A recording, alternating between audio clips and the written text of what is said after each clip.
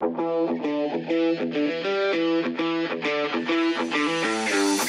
Andrew Garcia from the Hammond area. NCC foes clash on the girls' tennis courts. Kankakee Valley on the road to face Munster.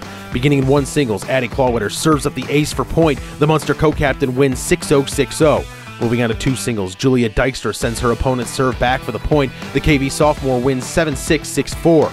In three singles, Emmeline Miller waits patiently before sending one right past her opponent for the point. The junior wins 6-2, 6-3. On to two doubles, we find the tandem of Wanaye Irfan and Anushka Majetti. Majetti going upstairs and smashing one down. The pair win their match 6-0, 6-0. And last but certainly not least, we end in one doubles with Libby Fesco and Emily Rakic. Rakic fires one back in the alley for the point. Fesco and Rakic win 7 6 6 3. Munster wins 4 1.